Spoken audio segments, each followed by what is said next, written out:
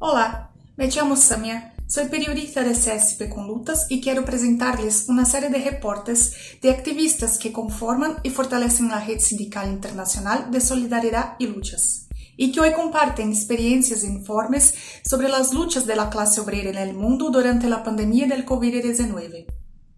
Tenemos informes de los sindicalistas de la CGT del Estado español, la Central Sindical Francesa Solidaire, la CSP con Lutas y activistas de los Estados Unidos y Palestina. Si ustedes que forman parte de la Red Sindical Internacional desean enviarnos informes de lucha en vídeo, seguiremos recibiéndolos y publicándolos en nuestras redes sociales. Solo tienes que enviar el contenido a internacional.cspconlutas.org.br. Muchas gracias, espero que disfruten del vídeo que sigue. En primer lugar, enviar un saludo desde la CGT, desde el Estado español, a toda la red internacional de solidaridad y lucha. Eh, contaros un poco cuál ha sido nuestra experiencia en toda esta situación. El virus COVID-19 ya ha acabado con la vida de más de 27.000 personas en el Estado español y más de 400.000 en todo el mundo. Datos oficiales que solo recogen los casos confirmados por test y que dada la escasez de estas pruebas a nivel global pueden disparar el número de muertes a niveles mucho más altos. Detrás de estos números hay personas y sufrimiento, mucho sufrimiento. La salud y la vida de millones de personas en todo el mundo se encuentran en riesgo. Los gobiernos están en la obligación de garantizar y priorizar la vida y su, sostenibilidad y esta sostenibilidad de la vida no pasa precisamente por inyectar miles de millones de eh, euros o de dólares en la economía capitalista, sino que pasa por garantizar a toda la población trabajadora, al igual que a las personas excluidas, pobres y desahuciadas, unas condiciones sociales que cubran todas sus necesidades vitales. Sin embargo, en el Estado español los hechos nos demuestran que la salud de las personas trabajadoras se ha situado en un segundo plano desde el inicio de esta crisis. Ha primado una vez más los intereses empresariales, es decir, los intereses de aquellos que pagan menos impuestos, ya que dos de cada tres euros recaudados provienen de las rentas del trabajo y solo uno proviene de las rentas del capital. Las medidas preventivas para evitar los contagios no se han garantizado debidamente en los centros de trabajo, porque no basta con promulgar reales decretos o procedimientos de actuación desde el Ministerio de Sanidad para que los servicios de prevención de las empresas implanten las medidas de seguridad adecuadas. También es necesario garantizar que los empresarios las cumplen. Se ha abandonado al personal sanitario a su suerte y sin los medios adecuados para luchar contra esta pandemia. Y lo que es peor, se ha dejado morir en soledad y sin atención médica adecuada a miles de personas mayores y dependientes en las residencias donde vivían. En cuanto a las soluciones aportadas por el Gobierno para evitar la destrucción de empleo, han llegado tarde y de nuevo quien afronta el mayor sacrificio son los trabajadores y trabajadoras. Se ha implantado el teletrabajo, pero que se ha demostrado la incapacidad de las empresas para organizarlo. Son en la mayoría de los casos los trabajadores y trabajadoras quienes deben aportar los medios para realizarlo y además se está dificultando de una manera terrible la conciliación de la vida laboral y familiar al exigirse la misma productividad en el propio centro de trabajo lo que, se está, lo que está provocando que se trabaje más horas de las debidas. Los ERTE, que son suspensiones temporales de contrato, donde las personas afectadas por esta situación solo tienen garantizado el 70% de su salario, que a añadir que los empresarios no han de pagar nada en la mayoría de los casos de las cargas sociales de estos trabajadores y trabajadoras. Pero ¿quién paga ese 70% del salario? Se paga mediante los impuestos, de lo que, como ya hemos dicho anteriormente, dos de cada tres euros son aportados por la clase trabajadora. Se han reducido las jornadas incluso hasta el 100%. Aquí la clase trabajadora no cobrará por el tiempo no trabajado. Además, hay empresas que están dando de baja de la seguridad social a estas personas ilegalmente, en su mayoría mujeres y en su mayoría pertenecientes a sectores precarios. En cuanto a las medidas de carácter social, la mayoría de las veces las trabas burocráticas hacen imposible que las personas vulnerables puedan acceder a ellas, empezando por el recientemente aprobado ingreso mínimo vital, según se ha indicado desde el Gobierno pretende que esta crisis no la paguen los de siempre. Pero sin embargo llama la atención el complejo entramado de requisitos en algunos casos que hacen difícilmente acreditable para acceder a las ayudas. Se hace necesario y de forma urgente garantizar medidas verdaderamente que respalden a la gente. Una renta básica de las iguales es la única vía razonable que contemplamos para garantizar esta cobertura y por tanto, tanto dicha renta debe ser urgente, individual, universal e incondicional. Frente a esta situación, desde CGT nos hemos planteado el reto de romper el aislamiento social que suponía el confinamiento, intentando que el funcionamiento de la organización fuese lo más normalizado posible. Al no poder celebrar reuniones orgánicas que habitualmente celebramos, hemos recurrido a las nuevas tecnologías para conseguir que la vida diaria del sindicato continuara normalmente dentro de lo posible. La pandemia obligó a cambiar la campaña del 28 de abril, Día Internacional de la Salud en el Trabajo, que como no podía ser de otra forma, este año la hemos dedicado a las consecuencias del COVID-19 en el mundo laboral. El 1 de mayo también lo pasamos confinados, por lo que las habituales manifestaciones fueron sustituidos sustituidas por una campaña en redes sociales en favor de la renta básica de las iguales y un concierto a través de nuestro canal de YouTube. La normativa nos ha obligado a mantener cerradas las sedes del sindicato y esta, en esta situación hemos intentado paliarla estando accesibles para la afiliación y los trabajadores y trabajadoras a través de las redes sociales. Durante nueve semanas consecutivas hemos realizado un programa en directo en nuestro canal de YouTube donde se han resuelto las dudas que nos han planteado las personas trabajadoras.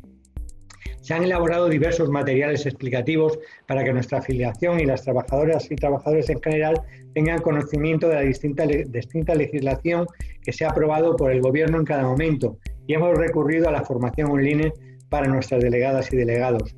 Nos hemos dirigido al Gobierno para exponerle nuestras reivindicaciones y apreciaciones sobre las consecuencias de la crisis y las medidas que han tomado, especialmente en materias relacionadas con la salud laboral y las condiciones laborales y el mantenimiento del empleo pero también hemos pedido la regularización de todas las personas migrantes que son consideradas ilegales y que no se utilice el ejército para funciones que corresponden a, la sociedad civil, entre otras.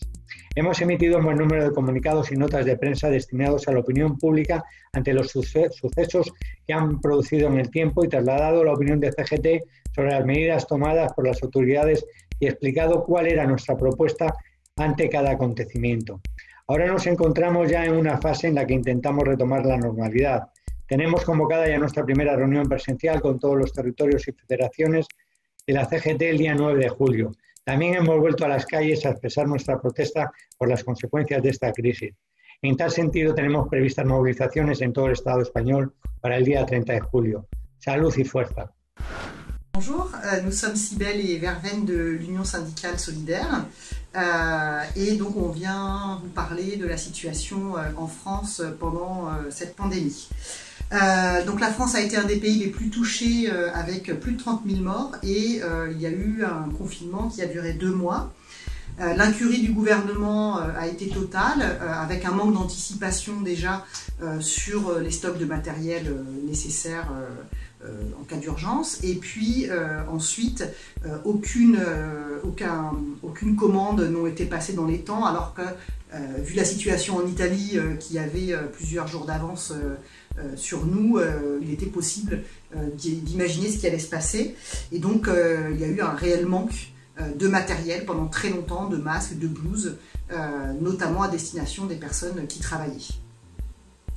Le gouvernement a mis en place euh, un état d'urgence euh, sanitaire, euh, dit sanitaire, et qui est toujours en place aujourd'hui, avec notamment quelque chose de particulièrement important qui est l'interdiction du droit de, manifestation. On a fait un recours contre cette interdiction et on a appelé à de nombreuses manifestations interdites.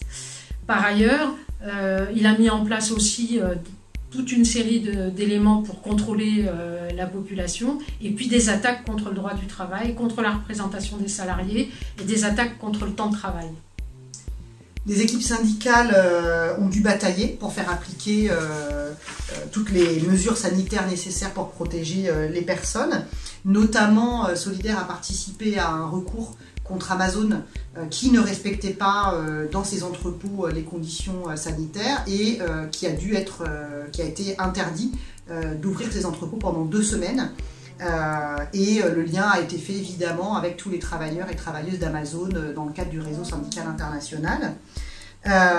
cette victoire, elle est symbolique parce qu'elle montre bien comment euh, il a fallu se battre euh, pied à pied avec les entreprises sur l'application de ces, de la situation sanitaire. il y a eu aussi de nombreux abus sur le télétravail, avec donc l'utilisation massive du télétravail en imposant aux personnes de garder leurs enfants tout en télétravaillant sans leur donner les conditions nécessaires. Et ce sont notamment les femmes qui ont été victimes de cette situation. Euh, enfin, euh, la poursuite du travail dans les secteurs euh, indispensables a reposé la question des salaires, puisque ce sont les personnes qui ont continué à travailler, qui sont les plus précaires et qui ont les plus bas salaires. Et on voit bien que la question de l'augmentation des salaires est un enjeu crucial à, poursuivre. Dans les quartiers populaires, les personnes ont été particulièrement touchées par, par la crise sanitaire à cause des logements vétustes et à cause de la précarité en fait euh, des services publics de santé. Elles ont aussi été touchées par euh, euh, du chômage et le fait que les intérimaires, les sans-papiers, les gens qui travaillent dans des entreprises de sous-traitance, etc., n'ont pas eu droit à pouvoir continuer leur travail dans des conditions de chômage partiel mais aussi ceux et celles qui ont continué à travailler et qui pour beaucoup habitaient dans, ces quartiers populaires, que ce soit euh, des personnels de santé, euh, euh, des personnels travaillant dans le nettoyage, dans les commerces d'alimentation, dans la sécurité, des livreurs, étaient ceux qui continuaient à travailler et donc qui étaient soumis aux conditions de travail les plus, les plus risquées. Et en plus, ils ont été soumis à des contrôles de police particulièrement pesants. Et avec le déconfinement, en fait, les premières grandes manifestations qui ont eu lieu, ça a été euh, une manifestation de 10 000 sans-papiers euh, à Paris le 30 mai. Et le 2 juin, euh, à partir du 2 juin, dans de très nombreuses villes de France, il y a eu des manifestations contre les violences policières et contre le racisme qui faisaient le lien entre la situation française et la situation états-unienne. La pandémie a aussi mis en évidence l'importance des services publics et en particulier de la santé et des hôpitaux. Euh, on a vu le désastre de la gestion privée euh, des établissements euh, d'accueil des personnes âgées et la volonté du gouvernement de poursuivre le démantèlement de l'hôpital public. Aujourd'hui, il y a des mobilisations devant les hôpitaux malgré les interdictions, avec une journée prévue donc le, 16 juin pour de la défense de la santé et du service public de santé, qui est rejoint au niveau interprofessionnel par une grande journée de mobilisation pour construire le monde d'après. My name is Eric Slater. I live in Chicago with my partner and our three small children. I have been a city bus driver for 14 years. My coworkers have elected me to three terms as their union shop steward and executive board member. I have been an elected voting delegate to the International Constitutional Conventions of the Amalgamated Transit Union, ATU, twice. However, I do not represent my union or the Chicago Transit Authority in this video. I am a member of Workers' Voice, La Voz de los Trabajadores, a U.S. sympathizing section of the International Workers' League. The U.S. has been hit hard by the coronavirus. Over 100,000 dead and predictions of another additional 100,000 to die in this first wave. there is great frustration about the manner in which the government has handled the pandemic in its too late and halfway measures, forced stay at home orders, closing of public services, and public spaces. There has been a mass layoff and a dramatic and quick ballooning of unemployment. In this context, a video became public of a killing of a black man by the state, and a mass movement has erupted for weeks. It is still going on.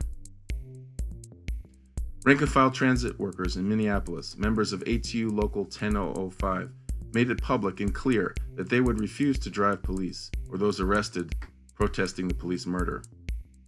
The local union publicly backed this rank and file initiative, as did the national ATU through a public statement that reads Furthermore, as our members, bus drivers, have the right to refuse work they consider dangerous or unsafe during the pandemic, so too Minneapolis bus drivers, our members, have the right to refuse the dangerous duty of transporting police to protests and arrested demonstrators away from these communities where many of these drivers live. This is a misuse of public transit. In Chicago, where I work as a bus driver, the weekend of May 30th, 31st saw over 1,000 arrests. The city administration instituted a curfew and multiple times shut down public transit, trapping many protesters and forcing protests to move into working class neighborhoods rather than the city center. Many of my coworkers were assigned to drive police shuttles, which converted public transit buses into a troop carrier that drove police and National Guard troops into working class neighborhoods to militarily confront protests. Workers attempted to hold discussions at our bus garage about our international union statement and ask each other what we felt about driving the shuttles. That's when management called the police to disband our discussions. They were concerned that workers would make our own decisions and possibly support the protests. Later in the week, management took me out of service as a bus driver of 14 years. They are threatening to fire me for leading a wildcat strike. On June 8th, we held a, pre- a rank and file worker speakout and press conference. We marched to the CTA headquarters and delivered a lawsuit in the national court against the CTA for breaking the U.S. Constitution's First Amendment, freedom of speech. The city administration is also threatening our right to organize on the job. During the press conference, alongside nurses, teachers, auto, and transit workers, I asked, Doesn't this protest movement have more legitimate authority, more legitimate moral authority than the U.S. government itself? This question was met with enthusiastic affirmative. Co-workers and unionists and supporters around the world have been sending statements of support and signing petitions to help get me back to work and defend workers' democratic rights to freedom of speech and assembly, as well as our right to have and use our unions. Many victories have been won by this wave of protests in a short period of time. We have won the arrest and indictment of serious criminal offenses the four police officers that participated in the killing. The Atlanta police chief was toppled after another police killing of a black man. Many police are demoralized and some are quitting. The protest movement has won the state order to dismantle the Minneapolis Police Department itself. We need to make sure working people are involved in and lead these processes so it does not become more of the same. We have also won democratic space, such as pushing back curfews. An important victory is the collaboration between black, white, Asian, and Latino workers, along with young social justice fighters. Working people and youth have gained some confidence in ourselves, taking mass action and taking victories through our own self activity. Of central importance right now is national and international democratic organization of the struggle. The struggle must remain independent and not be co opted by electoralism. Such organization of workers and youth can help the movement to take more ground for working people and stop it from being pushed back. There's a battle raging within the union movement. Should we enter into this social justice struggle with our industrial power, organize, organizational strength, and legitimate authority? The longshoremen on the coast of California are going on strike today, June 19th, in an eight hour political strike on Juneteenth, the celebration of the ending of slavery in the United States. This industrial activity of workers on behalf of a political social movement is very important. The unity between the workers' movement and the black and Latino workers working communities in struggle will set the material conditions for us to be able to win the current demands of defunding the police and move towards the dismantling of state repression altogether. If the working class can join into this struggle, especially in an organized way, that may pave the way for future struggles that undercut the systems of class domination and open up the potential for working people to form our own government that has no need for racist state violence. Hola compañeras y compañeros, soy Irene, soy del movimiento Luta Popular y de la Secretaría Ejecutiva Nacional de CSP con Lutas en Brasil.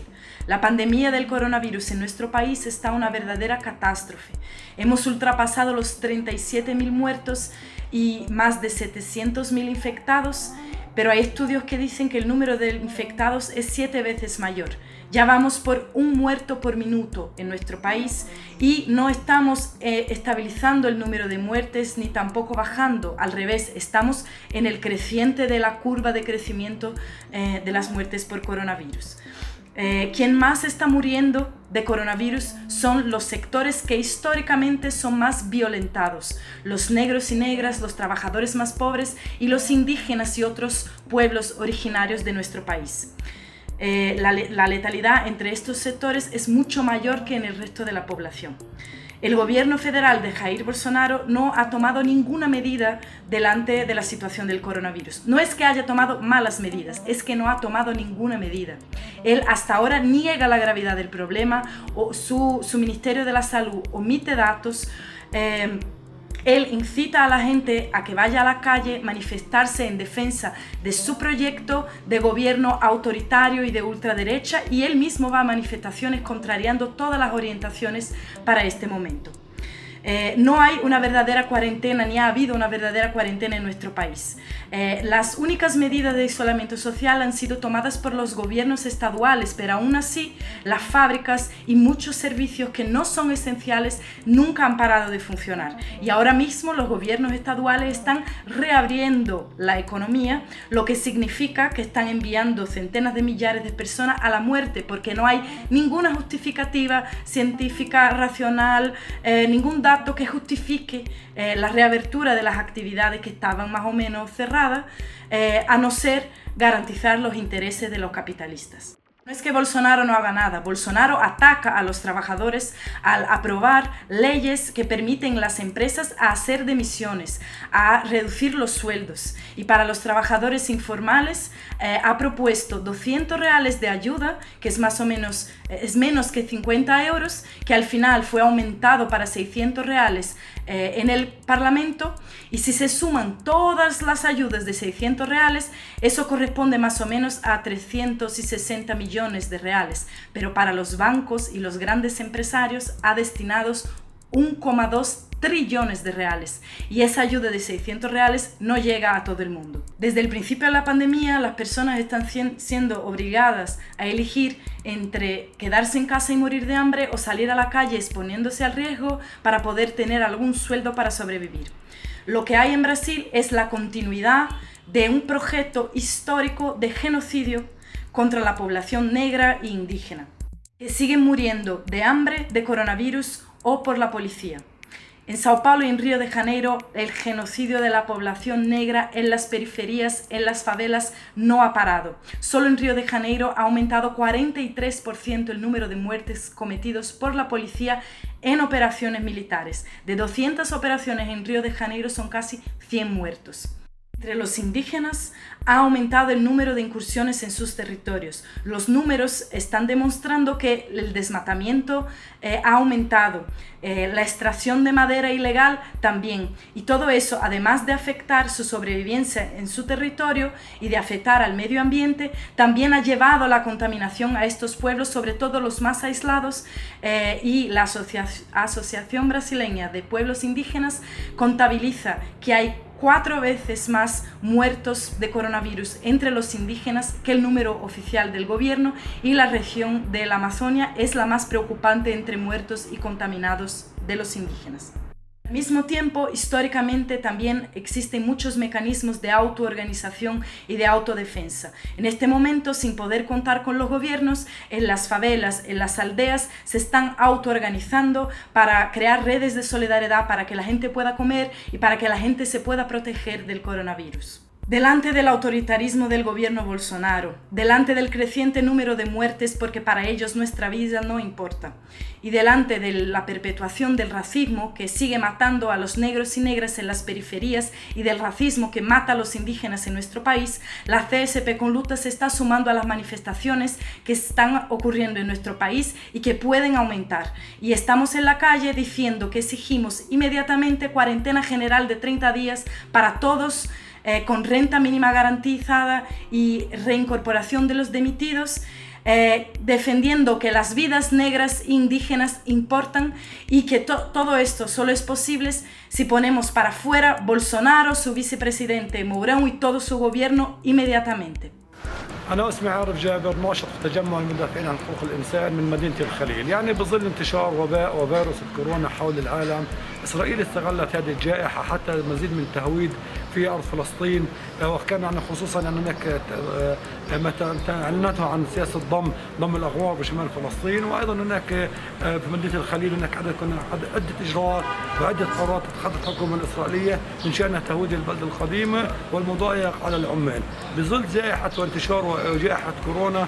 مئات الألوف من العمال الفلسطينيين والعمال حول العالم فقدوا وظائفهم. نحن كفلسطينيين نتضامن مع عمالنا الفلسطينيين ونتضامن مع عمالنا حول العالم.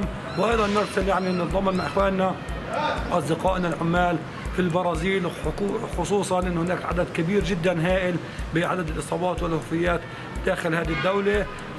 نتمنى الشفاء لكل المصابين. نتمنى من الله سبحانه وتعالى أن يزيل هذه الجائحة وأن تستقر الأمور وترجع إلى مكان عماد أبو شمسية ناشط في تجمع المدافعين عن حقوق الإنسان الذي يعمل هذا التجمع بتوثيق انتهاكات الاحتلال عبر كاميرا الفيديو. منذ الاحتلال بداية الاحتلال سنة 1967 بدأ الاحتلال بالسيطرة على قلب مدينة الخليل وخاصة الحرم الإبراهيمي الشريف وبالتالي سياسات الاحتلال ظلت مستمرة في تهويد والسيطرة على الحرم الإبراهيمي الشريف. وبالتالي حصلت منظرة الحرم الإبراهيمي الشريف سنة 1994 وراح ضحيتها أكثر من 29 مصلي وإصابة المئات داخل الحرم الإبراهيمي في صلاة الفجر. عوقبنا كفلسطينيين بعد المزرة بعد ذبحنا في الحرم الإبراهيمي وقد أغلقت المحلات التجارية ومنعنا من دخول الكثير من المناطق في قلب مدينة الخليل وزرع الاستيطان يوجد خمس مستوطنات في داخل مدينة الخليل تل أرميدي وأيضا الدبوية بيت هداسة وبيت شيشا وبيت رومانو وأبراهام أبينو وبالتالي الاحتلال يمعن في السيطرة على قلب مدينة الخليل ومصادرة ما تبقى من المنازل الفلسطينيين في داخل المنطقة في جائحة كورونا وفي هذا الوقت العصيب الذي تعيشه القضية الفلسطينية من سياسات صهيو أمريكية وهي ما تسمى بسرقة القرن وسياسة الضم. الاحتلال منذ جائحة كورونا يمعن في التنكيل في المواطن الفلسطيني داخل وخارج الحواجز الصهيونية التي تلف قلب مدينة الخليل. نتحدث عن 111 حاجز كما تشاهدون خلفي من الحواجز التي وضعت من أجل التنكيل بالمواطن الفلسطيني في جائحة كورونا لم يسمح لنا كنشطاء وكأهالي وكساكنين هذه المناطق من عملية تعقيم هذه الحواجز خوف من انتقال العدوى إلى المواطن الفلسطيني. كما أقول أن وباء الاحتلال الصهيوني علينا هو وأخطر من كوفيد 19 وباء كورونا ونتمنى الحرية لفلسطين وللعالم.